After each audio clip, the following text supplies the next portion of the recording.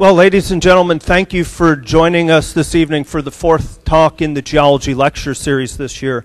Uh, I think we're in for quite a treat this evening, and I'm glad that you all had an opportunity to make it out through rain and sleet and hail, and that I got to go through rain, sleet, hail, snow, and about 14 other precipitations that I don't recognize to pick up our speaker this morning and get him here in one piece and also to see a little bit of Shore Acres. So that's a wonderful thing. Uh, if you didn't pick it up, the last two talks, I've got a little bit of information out there in the lobby that you're welcome to pick up if you didn't sign one of these handy dandy little sheets on your way out, if you would just take a second to do that, uh, part of putting this series on for free is the old justification line. And so trying to make sure that uh, sponsors and potential sponsors know how many people actually attend the lectures is a imp very important thing. Speaking of sponsors, the SWOCC Foundation is a contributor, as is the college by giving us this wonderful space. And thank you guys for coming in on a Saturday night, as usual, uh, for giving us some tech support as well. And also to Oregon Resources Corporation, our main financial sponsor as well.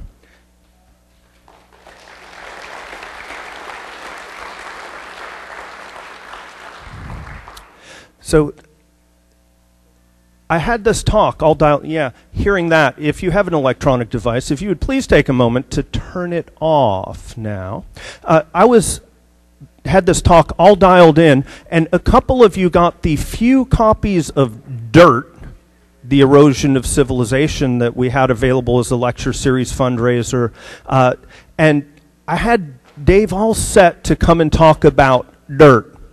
And Dirt's more, more recent book and has a new one coming out this summer. But I was out fishing with a good close friend of mine, and I saw over 200 boats out there. It's like, well, he wrote King of Fish, too, and the history of salmon, and a discussion of salmon. No. Uh, and so part of that ended up being, I was thinking, why am I having him talk about dirt when salmon plays such an important role historically in our neighborhood, going back to Native American culture and even our present day? And so it's like, would you mind changing dirt to king of fish? And he loves both topics, so he's like, sure, no problem. So after the talk, if you're interested, we're selling copies of King of Fish that Dave would be pleased to sign for you in the lobby after the talk as a lecture series fundraiser. So we've got a number of copies out there. Uh, just see us out at the table. So Dave's history went to Stanford as an undergrad, went to uh, UC Berkeley as a graduate student, and part of that time at Berkeley also had him in Coos Bay for some short as well extended periods of time working on Mettman Ridge, looking at landslides. So as a geomorphologist, he's dealing with a lot of very different topics, including the relationship between landscapes, change, and salmon. It's my pleasure to introduce to you tonight Dave Montgomery.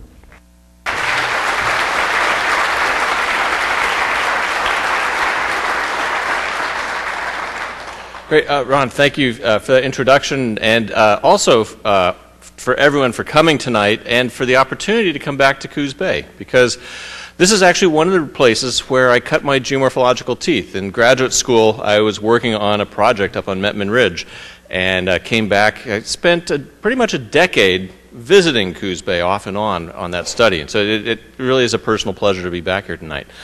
Um, well one of the questions that I've gotten about King of Fish uh, from a number of corners, not the least of which are my biologist colleagues, are why would a geologist write a book about fish? I hope that by the end of the talk tonight, it's really clear why someone like myself would sort of be uh, uh, willing to take that on in sort of a different field. And, and the, the real reason is that it's not that different a field. If we look at the way that people influence the way landscapes evolve today, the kind of things we do to the way water and sediment move around the surface of the earth, it really is reshaping the way that habitats for different kinds of organisms, and there's no better poster child than salmon for this problem, um, have reshaped, quite literally, the world of the, some of the species that we share this planet with. Um, so what I want to give you tonight is sort of the, the view of a how a geologist who studies what you might consider the here and now of geology, the sort of the, the forces that shape the surface of the earth that, that we live on and know, um, how one approaches that problem and how one looks at the way that some of our actions can influence things that we might not have intended to be influenced by them. Um, and that's sort of the common theme to both King of Fish and to Dirt. I'll make a shameless plug at the end of the talk for my new book, but I'll save the topic for that later. Um, let's get into the salmon. Uh, and what I want to start with is a, a, figure by one of my favorite artists, the Alaskan artist Ray Troll, and it's essentially the salmon phylogeny or the salmon family tree. And I'm showing it to you because it's one of the, the things that I think a geologist can really weigh in on is a question that really bothered me when I moved to the Northwest and started studying rivers and streams and started running into the salmon that were in them. And what bothered me is why is there a single species of Atlantic salmon? If you go to Europe, you go to New England, you go to Canada uh, on the East Coast, there's a single species all across that wide geography. You go to the Pacific, and there's a whole bunch of different kinds of species of salmon.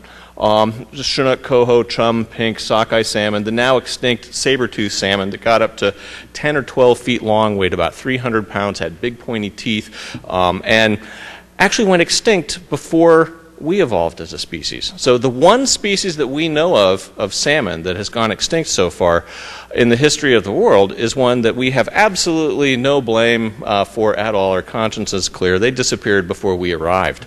In fact, they disappeared. The probability is that they essentially blinked out as the uh, glacial advances of the ice ages started to reshape the world about five, six million years ago, and then really sped up in the last few million years. But that's sort of a tangent. They're the one extinct one. But why are there five species of Pacific salmon, a sixth if you look at the Asian salmon, and only one species of Atlantic salmon? This is a problem that really bothered me as a geologist.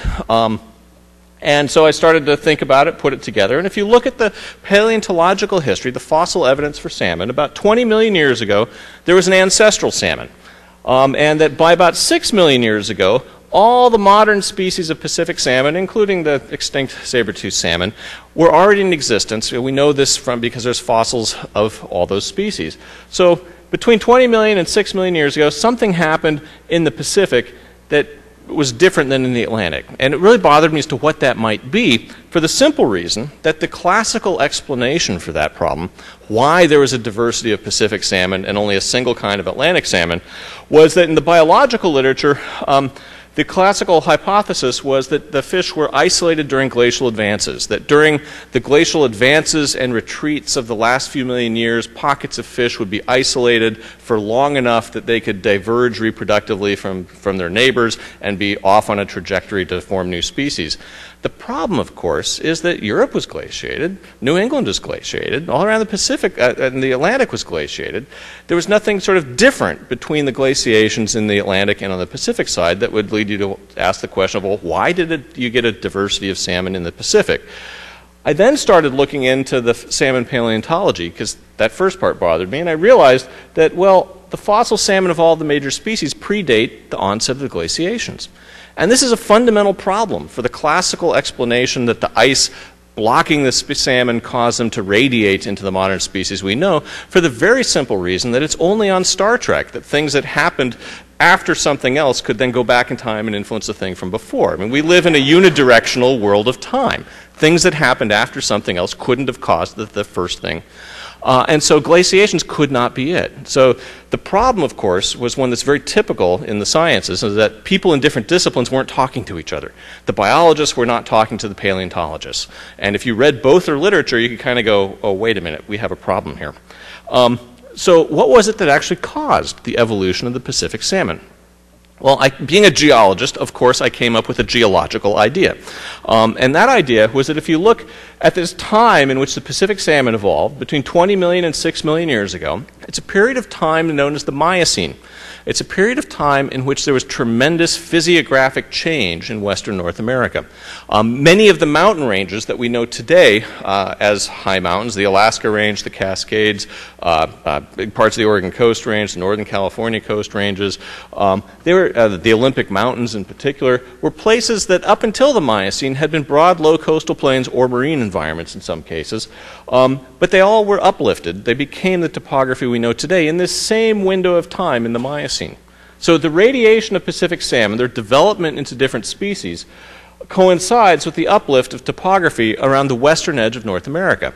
In other words, there was a tectonic shift in western North America that created different environments that I believe that the fish actually radiated into, started using differently, started to isolate themselves. We all know that salmon fairly, but not completely, faithfully go back to their home stream to spawn. And by creating new and different environments, steep channels as well as gentle ones, where before they had been all gentle, they were able to essentially segregate out into using different parts of watersheds. And if you look at where salmon use rivers and streams today, uh, they overlap in that they all swim up from, from the sea, but they tend to segregate out into different areas of watersheds, not 100%, but fairly well. And I was basically arguing that this is not a coincidence. And, and no, I'm not arguing that the evolution of salmon caused the uplift of the mountains. that would have been a really, really tremendous finding. Um, but I was arguing that the uplift of the mountains along the Pacific Rim led to the diversity of salmon that we have today. And, and, what that means, of course, is that at a very fundamental level, if I'm right at that, and the, the hypothesis has been out for about 12 years now, and seems to be holding its own in terms of the paleontological community. Um, and geologists really love to argue with each other, so you know it's, it's off to a good start. Um, but the uh, um, it's an idea that I think uh, really illustrates that at a core level, the Pacific salmon and the topography of the Northwest co evolved. They really are adapted um, to life in this region. Um, and I want to share with you for the next couple minutes a really spectacular fossil find of salmon that happened on the Olympic Peninsula. So Seattle's over here somewhere. Um, uh, this is the Olympic Peninsula. There's a river called the Skokomish River that flows out of the Olympics, where if you blow this little red box up over here and look at this geological map, uh, which I'll, I'm, I'm not going to explain all the uh, uh, uh, stuff on it to you for the moment, except that this black line is the limit of the ice advance during the last glaciation, which is this black line as well.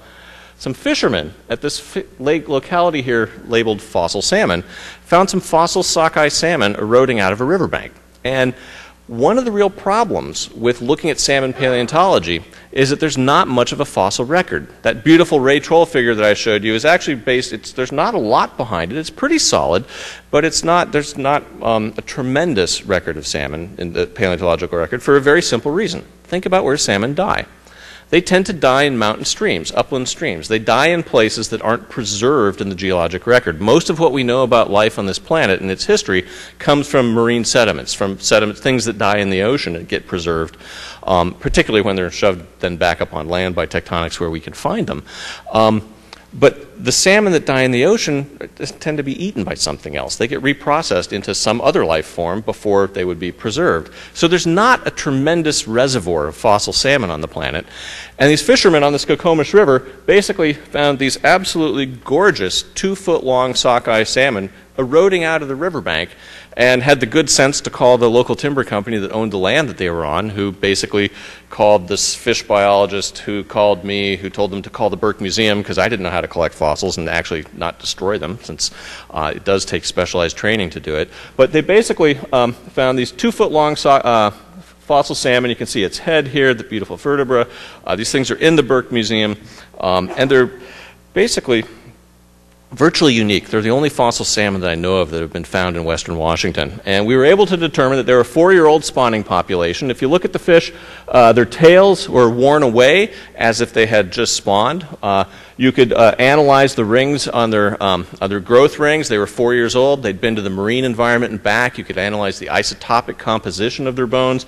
And so we know that they were anadromous, that they went from freshwater to the marine environment and back because of their isotopic composition. We know that they were sockeye, which, if you recall from that Ray Troll figure, are the most recently evolved but still living um, species of salmon. And we know that they were a million years old. Why? Well, because there was volcanic ash buried in the same beds as the fossil fish. So we have very solid evidence that all the modern salmon existed at least a million years ago in Washington state. Um, and therefore, we know that they were actually fairly well adapted to life in the rivers and streams in the Northwest, which are actually fairly dynamic and disturbance rich environments. You know, Mount St. Helens incinerating the Toutle River downstream of it is an extreme example, but within five years, salmon were nosing back up the Toutle River and recolonizing it. You know, not even St. Helens could wipe them out.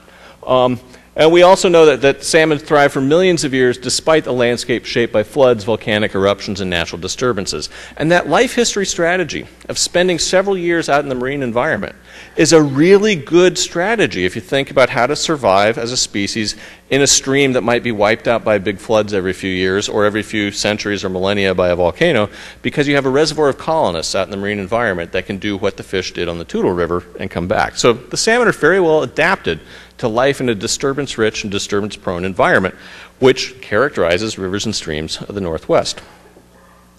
We also know that um, salmon in the Northwest were able to survive fairly intensive Native American predation for thousands of years. There was a very intensive fishery, particularly on the Columbia River.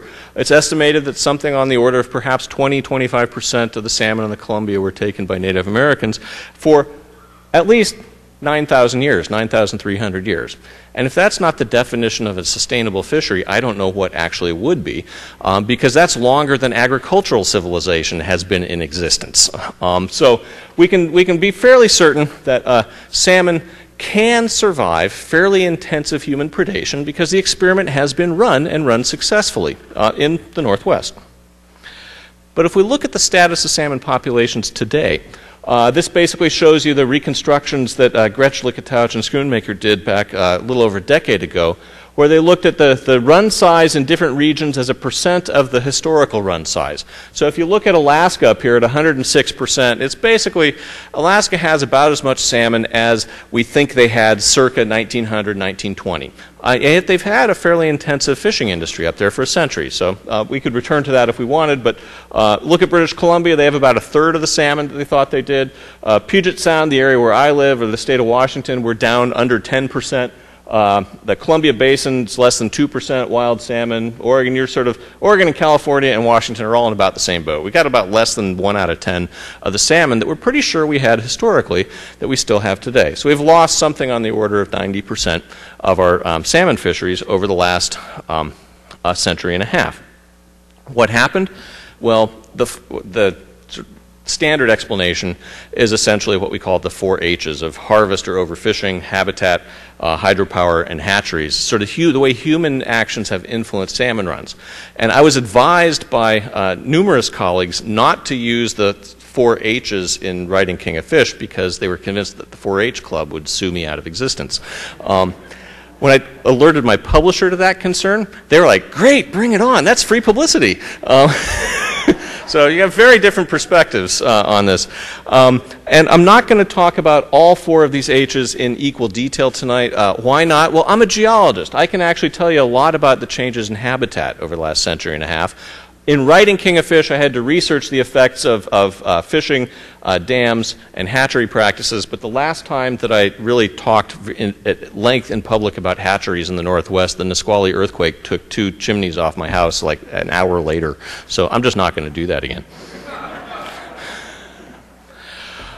and besides, the real point that I want to make is about what I call the fifth H, or history. Because uh, as I started looking into the history of salmon, uh, I noticed strikingly different, uh, a strikingly similar pattern of changes to river systems and salmon crises in Great Britain, New England, and now the Pacific Northwest. Uh, why did I start looking into the history of, uh, of salmon and human interactions with salmon? Well, I used to be the vice chairman of the um, interdisciplinary science panel charged with evaluating the state of Washington's salmon recovery plans. And one of the first things we did at the meetings of that panel, which has been disbanded by the state legislature because we kind of came up with the wrong answers apparently a few too many times, um, but the uh, one of the things that we asked was, has anybody looked back at what happened in New England? or in England to their salmon and their manage, uh, management of salmon. To, simply, are there lessons that we might be able to get from looking at history that might help us prevent repeating some of those um, experiments if they didn't turn out as well as I was afraid they might have? And basically, the looks we got back from um, you know, the state officials that we were dealing with was a, there were salmon in New England? What are you talking about? I mean, there was absolutely no sort of institutional memory or knowledge that there actually had been very large runs of salmon in New England and in, in Europe before that. So I basically, uh, you know, geology is one of the historical sciences. It involves both studying processes and history, Earth history. Um, and being historically inclined, I decided to start looking into, well, what had happened in Europe? What had happened in New England? And, and were their experiences at all relevant to thinking and arguing about what's happening to salmon in the Northwest today?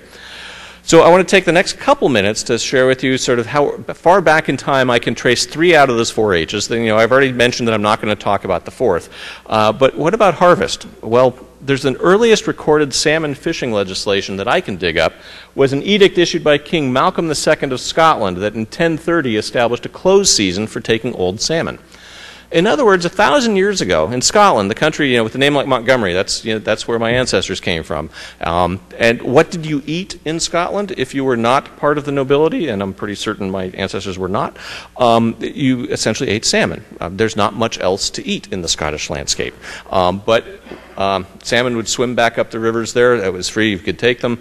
And it was viewed as the king's business, the monarch's business, to essentially protect the salmon fishery. And the, part of the deal was, is that if the fish made it back to their spawning beds, you had to let them go. You could fish for them on the way up, but if they made it back to spawn, they were off limits. Why? Well, they understood that you had to let the fish reproduce for there to be more fish in the future. I mean, it's, it's not, we didn't need science to actually explain that to us. It was known a thousand years ago.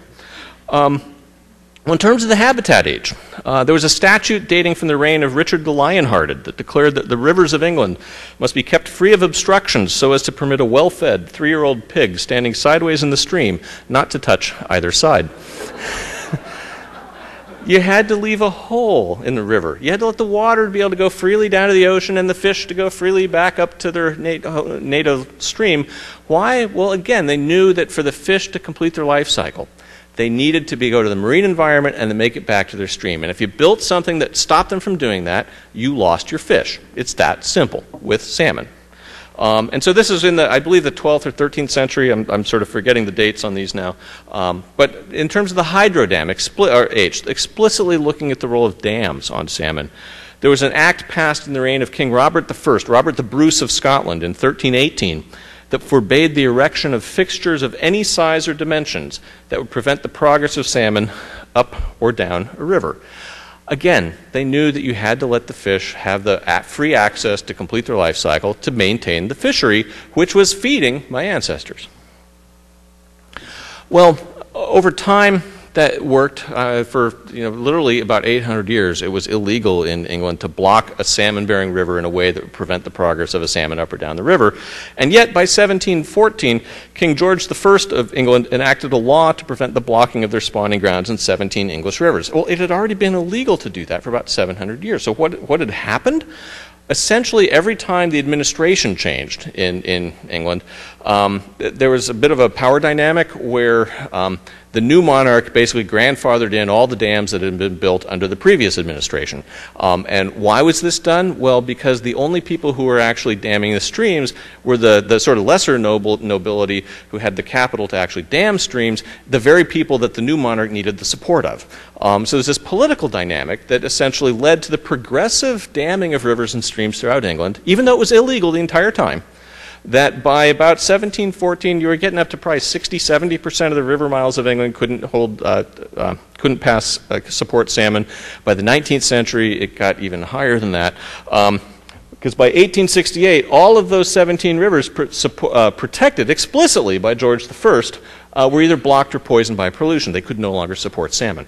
Um, so by the late 19th century, something like 90% of the river miles of England that had formerly been salmon habitat could not support salmon they lost 90% of their fish. This is starting to sound perhaps relevant to the Northwest. Well, while I was sitting on the ISP, I also managed to buy a book off of eBay for, I think I paid 50 bucks for it, but frankly, I, it's long ago enough now that I don't remember. It was written in 1833. I do remember that nobody else bothered to bid on it because it was about, it was by a, a Scottish gamekeeper named Alexander Fraser who was basically proposing how to save the English salmon. And I brought this book to an ISP meeting and sort of showed people, hey, you know, the things you guys are still arguing about, This guy had proposed the solution 200 years ago. Why are we still arguing about it? He, because he said that it's actually fairly simple to save the salmon of England. You, we need to not block the ability of salmon to migrate or up or downstream, manage the hydro H, limit fishing intensity so as not to take the majority of the spawners, manage the harvest H. In other words, don't take more than half the fish and they'll actually reseed the streams just fine. And prevent habitat degradation that could damage the fishery, manage the habitat H. In terms of these three H's, this last one at the bottom is probably the one we've learned the most about in the last 200 years. The upper two, you know, they were common sense a thousand years ago. But we were still arguing about them in Washington about a decade ago. But that's, I'll I'm going to try not to pick on my home state too much on this lecture. That would just be wrong.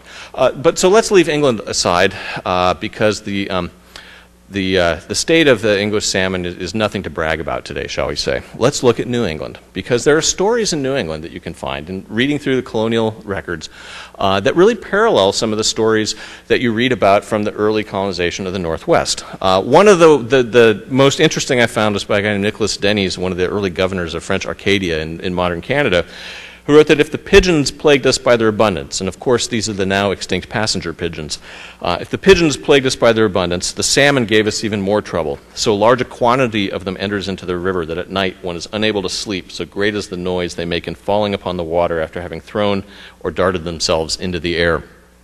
Salmon in colonial New England were a nuisance. They were a nuisance because most of the early visitors were fishermen who were after cod. And why were they after cod? Well, you could basically catch a lot of cod, salt them, put them in a barrel, ship it back to England, and make enough money to keep your, your crew fed and your ship provisioned and go back and forth across the Atlantic uh, to, to do it again. There was still enough salmon in England at that time that salmon was not a commercially viable fishery in the New World. Um, but there were so many fish in, that well, where would fishermen camp, make their camps? Along the freshwater rivers, because that's where they get fresh water. In the spawning season, they couldn't sleep. There were so many fish uh, spawning and, and, bothering them.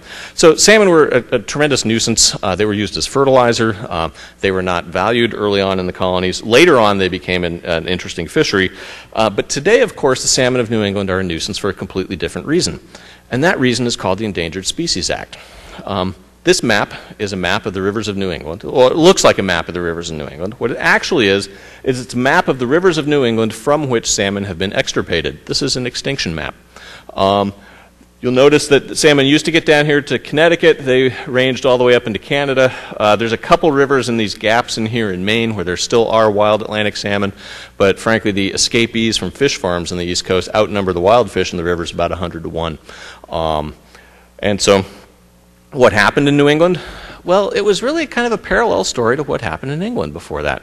Uh, this is a, a, map that shows you from Maine up here down to um, uh, down through New England, uh, showing you the density of mill dams that were built during the early part of the Industrial Revolution. Um, it had been it was illegal to dam a river in New England dating back from 1709 in a way that would prevent the progress of a fish, a salmon in particular, up or down a river. Yet over the course of the next uh, virtually 200 years, um, the construction of extensive mill dams throughout New England systematically blocked off river after river, such that by the end of the 19th century, um, something like 90% of the river miles of New England were physically inaccessible to a salmon. The very similar story that happened in England. The first laws outlawing blocking salmon, uh, uh, outlawing salmon blocking dams date from 1709, as I said. And between 1820 and 1880, there were over 150 fishery laws relating to salmon passed in the state of Maine alone. Uh, in other words, the plight of the salmon in New England by the late 19th century was not due to a lack of laws. There had always been illegal to block a salmon bearing stream in New England in a way that prevented fish from going up or downstream. And yet, over the course of about a century, 90% of the river miles were blocked. Well, what was the problem? Well, enforcement was virtually non existent. There's wonderful stories about, uh, one of which I included in King of Fish, about a magistrate who, who received a report of uh, poachers taking salmon up um, where they weren't supposed to in a river, and he sent out his deputies who managed not to find any poachers, but they brought back 20 salmon. Um, so, what are the common themes that I can find in the story of salmon in England and in New England uh, that might have some relevance for the salmon um, in the Northwest? Um, Well, historically, local control and lax enforcement really went hand in hand. And now I'm not trying to argue that local involvement or stakeholder input or even local control is a bad thing. But if you look back through the history of it, um, there's an awful lot of precedent for other economic priority uh, interests being prioritized over the interests of the salmon fishery for different reasons historically and different times and places, but that local decisions often shortchange the fishery in the, in the long run. Now, by the same token, the few examples you can find of very successful salmon recovery efforts were entirely driven by local efforts. So, this is not to basically say that local efforts involvement is bad, but lax enforcement has been at the heart of the decline of many salmon runs. The gradual accumulation of many individual habitat impacts, though that sort of damming of the river miles so that 90% were dammed, uh, didn't happen overnight. It happened a few percent every decade. And if you think like a geologist, you know, if you dam 10% of your river miles every decade, it only takes a century until you've dammed them all. And so slow changes, as long as they're always in the same direction, eventually can add up to large impacts. And that's sort of a fundamental um, uh, lesson of a geological worldview. The over reliance on hatcheries at the expense of habitat, well, hopefully my chimneys will still be in my house when I get home now that I've said it, um, but that's part of the record as well. And a lack of long term planning and understanding of habitat fish linkages. And I want to focus the rest of the talk really on what we've learned in the Northwest in trying to study some of these habitat fish linkages, um, because that's where a geologist like myself can actually sort of weigh in and attempt to try and frame issues or provide advice about how we might go about restoring commercially viable salmon fisheries throughout the Northwest, which is something I personally would love to see happen and believe can happen, um, but it's going to take some time. So the question, of course, is how well have we learned these lessons in the Northwest? And the secondary question, of course, is how often do you see the Statue of Liberty holding a salmon up? Not very often. Um, okay, well, in terms of the harvest H, it's really not worth arguing about, in my view, that early 20th century harvest practices were not sustainable. We took something like 90% of the Chinook runs each year off the Columbia River, and within a couple of decades, uh, most of the big ones were gone. A, the fishing records are, are complete enough that we can basically say that early 20th century fishing was wildly unsustainable. And yet, if you look at Alaska, they have, you know, it doesn't look like they've had evidence of long term loss. So the problem isn't simply commercial fishing, it may be how we've done it. And in particularly the early, in the early cannery days, it was overdone in the lower 48. No ifs, ands, or buts about it. I'll not be looking at or critiquing modern salmon fishing uh, regulations. Why? Well, because I'm a geologist. I don't do that part.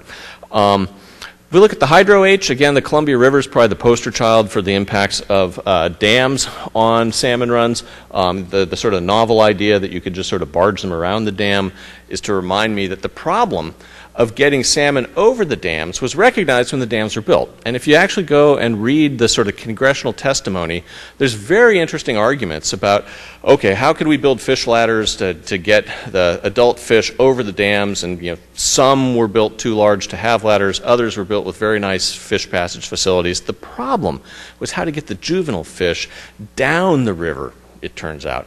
Because the Columbia, if you imagine how a, a small salmon is going to make it down the Columbia to the estuary, the Columbia is a big river. They basically surfed the current. They weren't swimming, they were just floating, and the river took them down. They were genetically programmed to essentially mature into saltwater fish by the amount of time it would take to float in a actively free flowing river. Um, and turning the river into a series of lakes meant they had to swim all the way down. And not only swim, but on more than one occasion swim through turbines. And I actually visited one of the, the um, dams in the Columbia once and sort of asked how many of the fish sort of survive through the dam. And they were sort of like, oh, well, like 90% survive through. And I said, well, and how many dams are there? Um, and it's 90% in each one. And if you go down and add it up, it starts to become big numbers. They stopped answering my questions on that tour after I, the second question. Um, but in terms of the salmon landings on the Columbia, you know, basically, uh, uh, the fishing records started to be kept uh, circa about 18, 1870s. Fishing pressure ramped up. It oscillated by about 50% uh, over sort of a multi-year cycle. This probably, in my mind, represents sort of the innate variability of a salmon fishery. Marine conditions matter an awful lot. It's not sort of sta stable level. But once the dam started to be built, the fishery basically started to collapse. Um, and I know that correlation does not indicate causality, but I think this is a pretty good case where they're pretty tied together. Um, but let's talk about habitat. Because to me, as a geologist, as a geomorphologist, as somebody who studies rivers and streams and what shapes and forms them, therein lies some of the real interesting and surprising connections between the state of rivers, human activity, and the ability of those rivers to support salmon. One of the things that we really need to start out with is that the trees that we see in the Northwest today are not necessarily those that were here before. Um, big trees, such as we had in the Northwest, really influenced even big rivers. The, uh, the Wilkes report that was written in 1844 describing the Columbia River actually describes the way these giant old growth logs floating down the Columbia River, the fourth largest river in North America, the biggest one in this region, how those snags would ground out in the estuary of the Columbia and islands would form behind them. The big trees in this region were reshaping even the biggest rivers in the region. Um, and a geologist like me would studies this kind of a problem, the way uh, rivers create habitat, through what I call a horrendogram, um, because this is what my students call it. Um, and this is basically meant to walk you through how a geologist like myself would look at how the supply and transport of water, sediment, and wood interact to structure salmon habitat. And it basically is set up so that you have inputs up here on the first line. And what goes into a river? Well, it's water, it's sediment, sort of mud and silt and sand, coarse sediment, gravel, large woody debris, logs and trees, and you have the processes that actually move that material around to create, uh, to flood the floodplains, to move sediment, to cause bank erosion, the, the way that things actually create the forms, the floodplain, the floodplains, the side channels, the bars, pools, and riffles that collectively define the morphology of a channel that once you put an organism into it, forms habitat. And that could either be the rearing habitat for salmon, places that they hang out and grow and eat, or spawning habitat where the gravel is, and that then, of course, influences salmon. So, this kind of a horrendogram is a way to track if we change any of these things at the top line, how is that going to cascade down through all these causal relations and influence the, the thing of interest at the bottom? And we could make a separate horrendogram for any individual species, but I'm interested in talking about salmon. So, most geomorphologists recognize the changes in water and sediment. We've learned a lot in the last couple decades about the way that the changes in the trees that were falling into the rivers historically or that fall into them now probably fundamentally changed the way that the rivers and streams can support salmon.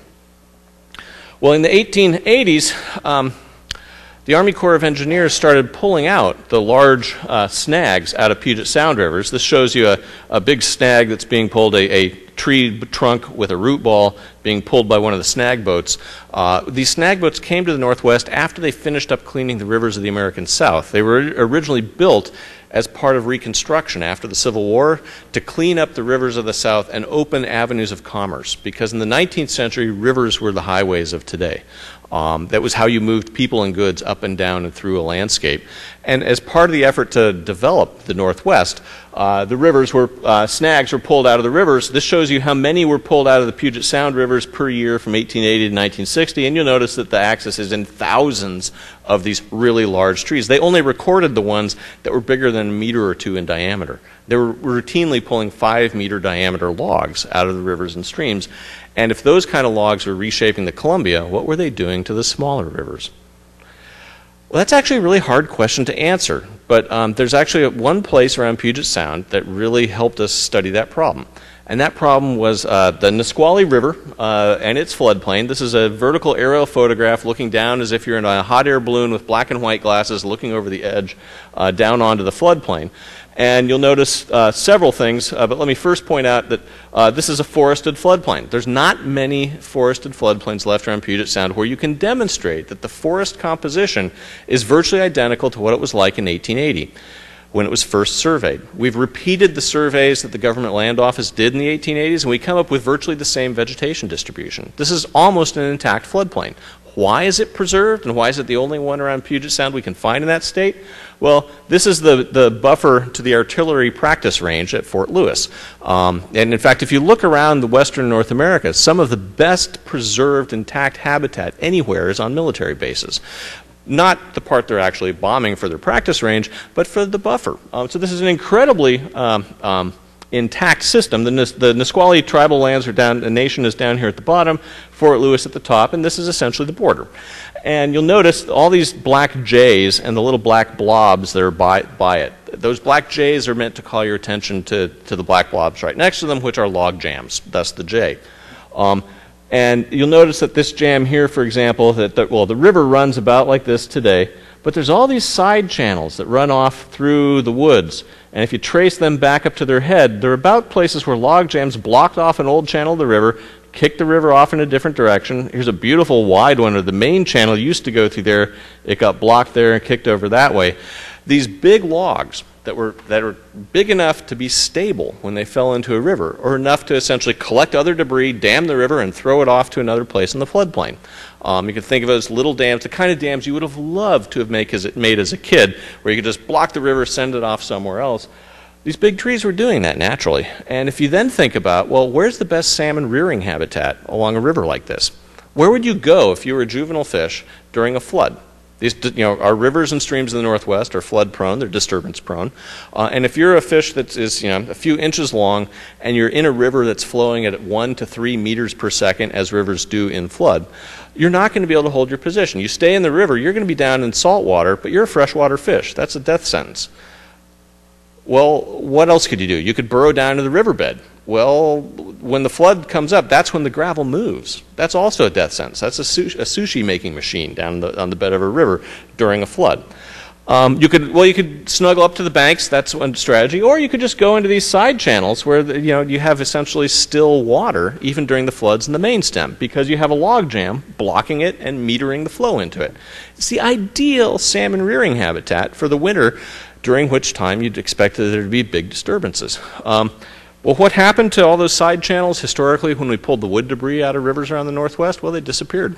This shows you the Stillaguamish River uh, in Washington. It's the floodplain. It's against another vertical aerial photograph looking down on the floodplain. You notice it's mostly agricultural land because floodplains make tremendous agricultural land. And all these white lines running through here are old channels of the river we can document from the 1870s surveys or from early aerial photographs the main channel in those, just a single thread that runs about like that. None of these other side channels still exist. None of them hold water. And if there's one thing that is required to create fish habitat, it has to be underwater. Um, I've yet to meet anybody who will argue the contrary.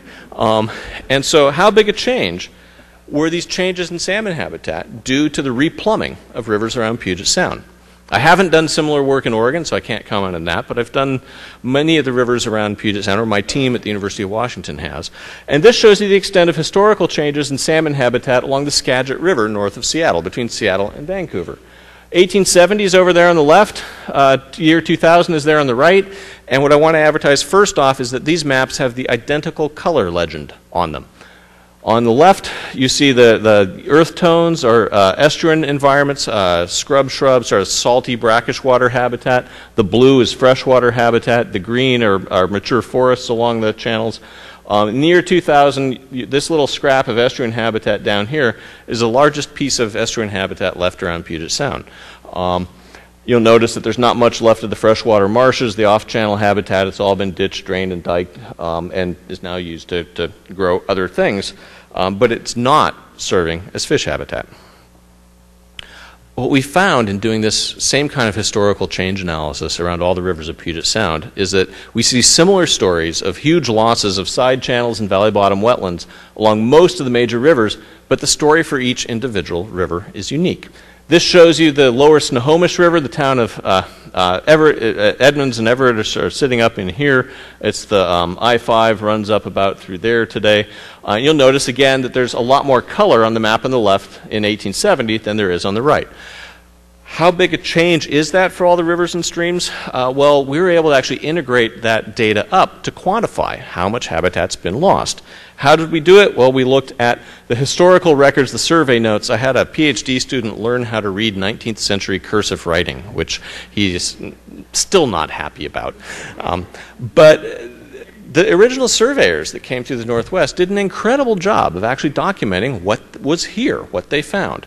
And so what we did is we basically remapped that, reinterpreted it. You, they even have descriptions of how deep the flow was in different seasons, and we could use that to estimate the total area of uh, water that was inundated for different rivers in different periods of time. We could see how much area of channel there was, how much tidal uh, habitat there was, um, and how much seasonal uh, habitat there was.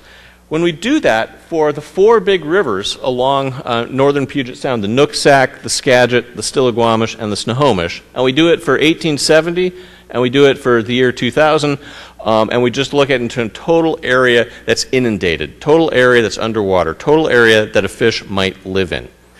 Um, we've lost about 90% of the habitat. I mean, it physically does not exist anymore. Um, we've also lost about 90% of the fish around Puget Sound. Now, are those numbers a coincidence? Um, was it overfishing that actually did it, or was it the hatcheries? Well, you know, sure, you can always argue coincidence, but I, I, I, suspect that it's not coincidental. I think that the direct loss of an equivalent amount of habitat relative to the amount of fish loss is sort of too striking a result to sort of dismiss as coincidence. Um, well, this condition was actually forecast about a century ago by a guy named Livingston Stone, who uh, was a, a president of the American Fisheries Society, who in an address in 1892 wrote that provide some refuge for the salmon and provide it quickly. He was basically commenting on the potential decline of salmon in the Northwest based on what he saw happen in his home state of Maine in the 19th century.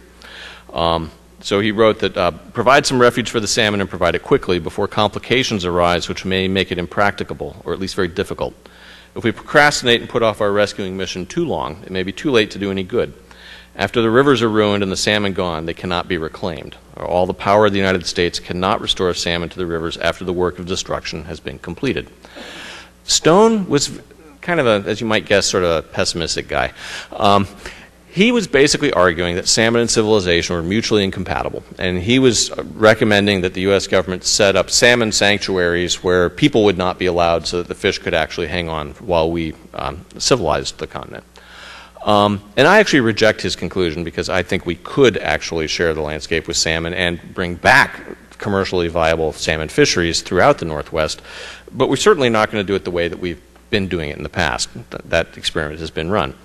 And in writing King of Fish, I thought really hard about well, what might you, what might one recommend um, as a strategy? And for the area around Puget Sound, it was actually fairly simple to me because the big floodplains are the places that were the juvenile salmon factories in the in the past, and they're actually areas that periodically are inundated. They go underwater. They are, in fact, floodplains, and they're very well named. And we spend an, an awful lot of money today subsidizing floodplain based activities around Puget Sound for land uses that are incompatible with being, being periodically submerged, which is what floodplains do. So I basically suggested that one of the few strategies that could work over the long run would be to create a network of salmon sanctuaries by restoring forested river corridors along major river floodplains. This is not to use Livingston Stone's uh, model of basically kicking people out of whole watersheds and giving them to the fish, but it's thinking about, well, how might we be able to actually be able to share the landscape in a way that produces enough fish that we can actually eat them? Um, well, this idea hasn't gone over terribly well, uh, in part because floodplains are uh, still being actively urbanized around Puget Sound. It's sort of flat, relatively easily developable land. Um, but there are big changes to the hydrology that happens when you do urbanize. Um, it, and that changes the way that water moves across the land and that can turn the pre-urbanization 10-year flood, a flood that happened on average every 10 years with a 1 in 10 chance in any given year, into a post-urbanization annual flood, a flood you could expect every single year. Um, and if you think about the salmon's adaptation to disturbance in their environments, they were pretty good at, at surviving a one out of 10 year flood because they had a couple generations of fish in the marine environment. But a major flood that could scour out their eggs that were developing the gravel that happens every year, they are simply not adapted to. And what happens when we urbanized uh, watersheds around Puget Sound? Uh, this is one of the few data slides that I'll, I'll, show you tonight, and it basically was an undergraduate thesis that Amy Moscrip did with me back in the 1990s, where what she did is she looked at plotting up the discharge, the amount of flow in a river in, in, in Julian, uh, Juanita Creek, uh, a creek uh, over on the east side of Seattle, that was developed in the 1970s uh, and 80s, and she looked at the frequency, the recurrence interval, how often a particular discharge happened either before urbanization or after, because this is a place where the U.S. Geological Survey had kept good records of the discharge through the period in which the watershed developed. And you'll notice it's a weird access down here. Don't worry about uh, uh, that. But essentially, the, what you can see is that the before 10 year discharge, so a, a 10 year flood, a flood that would happen one out of every 10 years, a good sized flood, from before actually became something that happened every year or two after urbanization. In other words, this infrequent, fairly high disturbance event became a predictable, regular occurrence. And essentially what we saw was that in the rivers that had undergone this kind of change, a salmon stream became a trout stream. Why? Well, the salmon essentially were spawning in the fall when we, when we got a lot of our rain, and so their eggs were in the gravel during the time the floods actually happened. Trout were spawning in the spring, and they put their eggs that developed in the gravel when we didn't get much rain, so they were immune from the effect. Um, so there's a fairly fundamental shift in the biology of streams that we see as a result of the physical hydrology, the geologic changes that accompanied urbanization around Puget Sound, um, that would lead one to think that, well, maybe we ought to think about how we develop if we want to preserve salmon runs in the, into the future. And a, if you look at the population in the Northwest through time, there's no hint on this graph that suggests that the human population on Puget Sound is going to sort of magically drop off in the near future. And so, what I was arguing to my colleagues and to policymakers in Washington was that we need to figure out strategies where we can accommodate the increased growth of the human population around Puget Sound and still bring our salmon back. I mean, that's the challenge. If we basically come up with sort of the idea that, oh, we'll just like seal the borders and have all the people disappear, it's not going to happen, even if anybody would want it to. It's just crazy talk. Um, but so how? But by the same token, if we ignore the footprint of future human development, we're going to lose the rest of our salmon. To argue otherwise, I believe, is equally crazy talk. How do you accommodate both is the real challenge. And I find far too few people in my home state actually recognizing that as the, the real issue. In fact, the Puget Sound Partnership, a few years ago, back in 2006, I believe it was, came up with recommendations for restoring Puget Sound by 2020 and saving salmon around Puget Sound by 2020, which is you know, approaching fairly rapidly now. Um, and they essentially ignored, they explicitly ignored the potential adverse impacts likely to occur due to future development. That very hydrologic change that I was showing on the last few slides, which is fairly solid. Studies in three different research groups have confirmed the same kind of results. Um, and so you have a case where, you know, I don't understand how you can um, uh, acknowledge the potential for impacts, but then sort of just not deal with them in devising a solution. In fact, if you actually look at the Puget Sound Partnership's report, and you read past the executive summary, you read past the part the politicians signed, and you read the technical appendix of the scientific working group on page 43, it says the strategies listed are not likely to be sufficient to achieve ecosystem goals. In other words, this plan won't work. It's right there in the plan. um, it's, it's, I was amazed that it's it's in there. Um, but as far as I can tell, it's actually an accurate statement. Um, and this leads me to you know a, a different conclusion. And it reminds me about, you know, how much have we really learned from the history of England and from New England? Uh, and, you know, we are in many ways repeating the experience of, um, of previous areas. And uh, just so you don't think that the sort of the hydrologic change is the only issue where we're not using fully what we know about the impacts to downstream areas, I think the, the caption up above and the photograph speak for themselves about a little cognitive dissonance might be going on in, in Washington. Um, and uh, this, this uh, photograph that actually circulated fairly widely uh, is, I think, a good example of that. This, this, slope was inspected and found to have no potentially unstable slopes. Clearly, uh, there are a few instabilities that developed after the, uh, um, that fact, in, in admittedly a very, very large storm. But the simple uh, recognition that there were no potentially unstable slopes, there's demonstrably false because the slopes actually failed. Um, and just, there was a. Um, statement st spokesperson for the Washington State DNR that after this event basically argued, well, who could have predicted it? Well, unfortunately, the uh, DNR basically uh, had supported my research group to create a model to uh, predict the effects of timber clearing on the potential for landsliding. Um, uh, that we then ran on that site. So if you look at this view here, you're essentially looking from over here at this slope here. What we did with this is a fairly simple model. You take digital topography, you basically assume rain is falling on it, you route the water downslope, and you basically see how wet is the ground as a result of that water moving, and you know what is the strength of the soil, how deep is the soil, what are the strength of the roots that are contributing to holding the soil on the slope, and you put in values that are pertinent to, in this case, for mature timber, and in this case for a uh, roughly about a five to ten year old clear cut And you'll notice that the, the red area, the red and the orange are areas where we'd predict would be vulnerable to sliding in a decent storm. And you know, there's, there's a bit of a difference between the mature timber and the clear cut case that is rooted quite simply in basic physics. Um, but so you should never ask the question who could have predicted something to someone who you've actually supported to do that. Um, whether or not one actually uses models like that in setting policy, of course, is not a scientific issue. That's a policy call. And it's very legitimate when you could, you know, any policy is legitimate in the world of politics. But in the world of, in the world of science, uh, we'd like to think at least that the kind of things that we could develop would um, be considered as part of that process and not just sort of dismissed with, well, who could have predicted it? So this is actually the slide that I want to uh, come close to ending with uh, because in, you know, I'm a, I'm a scientist by training. Um, i am trained to look at the world through these kind of horrendograms because, you know, when you look at it it, everything really is connected to everything else. It's just which are the important connections is often the hard thing to figure out. Um, but if you look at the history of salmon management, particularly in the 20th century, I would argue to you that you know in many cases we are not really limited by our knowledge. You know, I've made the mistake of suggesting to some uh, colleagues that what we really need is not necessarily more research on the way that geomorphic processes influence salmon habitat, but which is kind of crazy because I make my living doing that.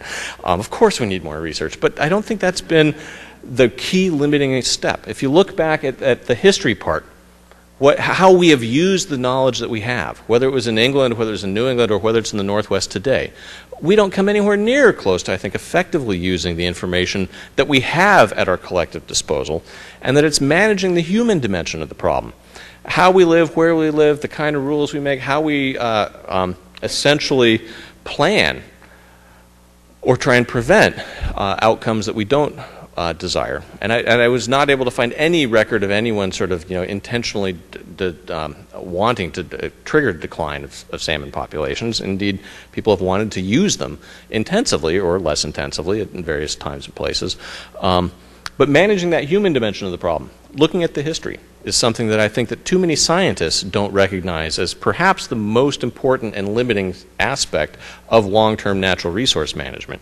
Um, it can be very easy to basically say that, oh, we just need to do some more research to figure out the answer. But if we never use the research we've done in setting the answers, that's really kind of a disingenuous argument.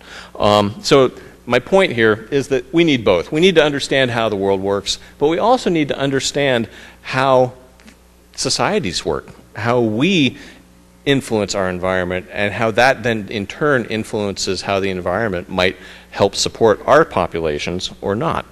Um, and that brings up the topic of my other book, Dirt, the Erosion of Civilizations, which is really a history of agriculture and a look at how erosion and the way we've treated agricultural lands has, in effect, limited the longevity of human societies time and time again. Um, and I'll make a short uh, plug for my new book, The Rocks Don't Lie A Geologist Investigates Noah's Flood, that is a uh, look at the origin of the world's flood stories and the way that that geology and Christianity have influenced each other over the centuries. Too, all too often, one simply hears about the conflict between science and religion in public discourse, and I wanted to look at the way they've cross pollinated and influenced each other. And this book took me an extra two years to write because the more I got into it, the more I found it's a really interesting story um, that's not the standard story that we hear about conflict. Um, of course, that's out there, um, and that's actually. Uh, um, a real story, but there's another, perhaps more interesting story about the way they've influenced each other. And I should probably stop there, um, but I thank you for your attention. I'd be glad if there's time to try and answer any questions that you might have.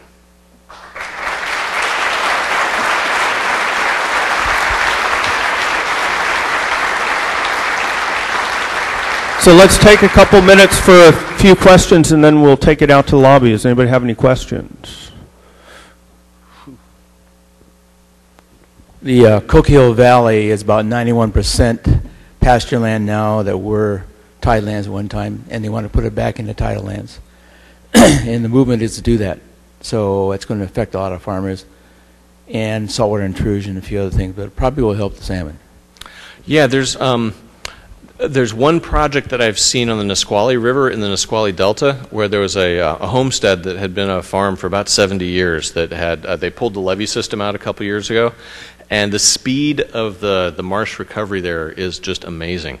You know, the, the, the trade-off of whether you're better off using that land as farmland or as fish production land or, or habitat land, that's a question that in my own mind sort of really depends on the local situation and context. If you have a ton of fish, maybe you need the farmland a lot more, and if you're desperate for fish, maybe you'd make the trade-off. That's a real political call.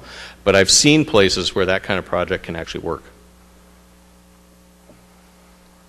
Okay, back in the, back in the old days, how does salmon handle beaver dams? And also, uh, how effective are salmon fish ladders on modern day dams? Um, the uh, fish ladders were invented, I think, in about 1805 or 6 by a Scottish guy, and uh, they work really well on low head dams. And as far as I know, the fish ladders for getting salmon over the dams work pretty darn well. Um, I don't. I've never worked on one. I haven't designed one, so you know, take that answer with a grain of salt. But I haven't run into a whole lot of um, uh, hand wringing about the getting fish, mature fish, over the dams being a big problem. It's often getting the juvenile fish down that's the problem, particularly for for uh, some of the big ones. Uh, as far as beaver dams go, there's, I've got colleagues who've essentially argued that the beaver dams formed incredibly good salmon habitat um, and they were not they were um, they're not really high head dams. They're fairly low for the most part. Some of them were probably tall enough that you might have had they might have been a fish passage barrier. But a lot of the um, natural log jams that I have worked on um, uh, are kind of leaky. They have sort of like steps. They're not sort of a massive barrier. Some of them some of them are. But many of them uh, I've, I've seen fish on the upstream side of where you, if you just stand back and look at the face, you wonder how they get over it. Then you get up and into it, uh, or some of them have actually fallen through and into. There, there's ways to get in and through them as a fish. Um, so it's my suspicion is is that on a whole, the beaver dams historically actually created pretty good rearing habitat for salmon in many many uh, rivers and floodplains. But I'm sure there are places where they would, for some period of time, block salmon access. Are there any good stats on uh, on splash dams and how much of a factor they were? Um, you know, I don't know of any really good stats. I have, I do have a couple historical sources that show sort of the extent of them, and in some places, like parts of the Oregon Coast Range and southwestern Washington in particular, it looks like they were pretty much everywhere. And from what I can tell by what the, the historical descriptions of, of the, the, the, dam bursting and the few places where I've seen photographs of actual log drives, um, they you know, to get a log drive down a dam, you had to basically pull all the obstructions. It had to be clean. That's a recipe for scouring down to bedrock. And I did a lot of work in the Oregon Coast Range in the 90s looking at why there's so many bedrock channels in the coast in the Coast Range. And I'm completely convinced that that's not the natural state of the rivers in the region, and that uh, historically there were probably you probably had logs damming and trapping alluvium in sort of a stair step way, sort of a you know one to a couple meter high um, steps, um, and because if you look at the the well the profiles are pretty steep for um, there's wrote a couple papers on it, but I'm pretty sure that well, I'm, I'm, sure that my opinion is that they were historically much more uh, wood and gravel rich than one has tends to find them today. Can you give us any names of organizations or individuals that uh, share some of your historical reference to this problem? Um, you know, I don't know a lot in terms of organizations that are looking at the history. Um, there's there's a number of books that have been written on it. Uh, most of the ones that I'm aware of, I cite, so they're all listed in the sources at the back of King of Fish. Um, you know, in terms of organizations that work on rivers nationally, um, that have you know a historical bent, but are are really focused on restoring rivers. Um, uh, I'm on the science advisory board for a group called American Rivers, whose work I, I really respect a lot. And again, I'd like to thank all of you for showing up tonight, and also Dave, who's going to have an early flight out tomorrow. But thank you all for coming. And if you're interested in getting those references, the lecture series is selling copies of Dave's book, King of Fish, out in the lobby afterwards for $25, cash or check. So thank you again all for coming out tonight. Hopefully, we'll see you in April. Thank you.